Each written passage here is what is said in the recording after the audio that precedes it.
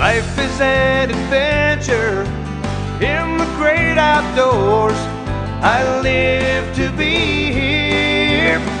Growing up and still having fun. Jax Outdoor Gear. So this is your shell garment. It's going to block out the wind and the water, which is what you need, especially if you're going to be in a cold, windy, wet environment. Doesn't have to be this shell specifically, but something that's going to be waterproof and windproof to give you that protection. It doesn't need to be insulated. It can be something that is thin, um, like a raincoat or just a shell item, and that goes the same for your pants. These are non-insulated um, ski pants. So they all should have hoods so you can protect your head storm flaps, waterproof zippers so that no moisture will come through the, this garment.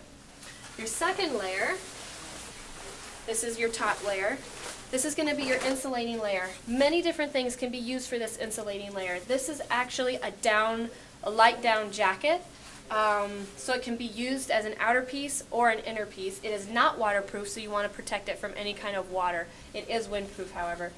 Um, and this is going to be very warm, very light, packable. You can take it with you anywhere you go. The fleece that I'm wearing can also be used as a mid layer.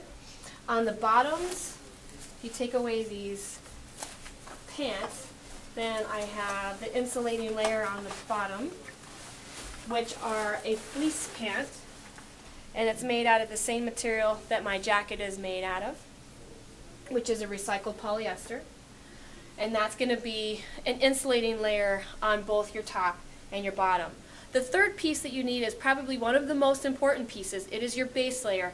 And the reason why your base layer is so important is due to the fact that that base layer is the, is the key piece that is going to keep you dry. Everything should breathe, everything should wick.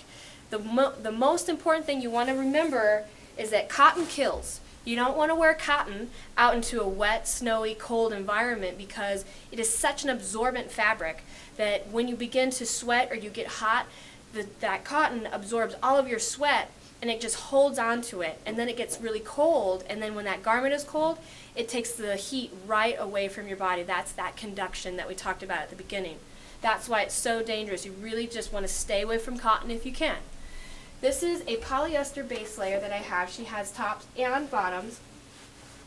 And these are really important because polyester is a very um, wicking fabric.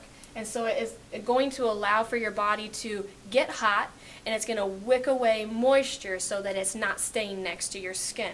When you're choosing a base layer, that's really an important question you want to ask the associate. Does it wick? If it does, then it's something that you can consider. Many fabrics will wick. There's polyester, which is what I'm showing you here. There's wool, and there's also silk.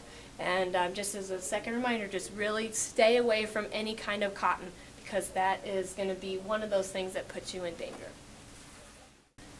So one of the questions you may ask yourself when you're looking for these pieces, especially when it comes to base layers, there are so many options available, really what is going to fit your needs. And you want to ask yourself a few questions um, in order to find the best garment that will fit your needs.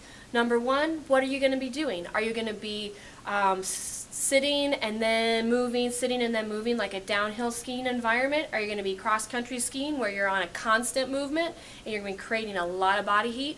Or are you just going out and taking a short walk and sitting and kind of being outdoors but not doing much activities? Maybe you're going to sit at a football game Whatever it is the activity that you're trying to get ready for, you have to consider how hard is your, gonna, your body going to be working. The higher the aerobic activity, really, the thinner you can go on the base layer garment because your body's going to be producing so much body heat that really the main purpose of this base layer is not necessarily to insulate you because your body is already going to be quite warm.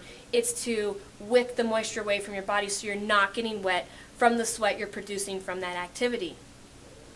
The more mild the activity, the more stop and go the activity, or the sedentary the activity is when you can go up to a heavier weight. So if you're going to be sitting at a football game, go with heavy long johns, something that's fleecy, something that is going to be thick, that's actually going to provide you with some insulation, not just a wicking material. If you're going to be somewhere in between, you want something that's going to be um, warm enough, but also has a wicking layer like a Patagonia Capilene 3 is a good stop and go long underwear for going up to the ski slopes. It's going to wick moisture, but it's also thick enough that it's going to provide you with some insulation.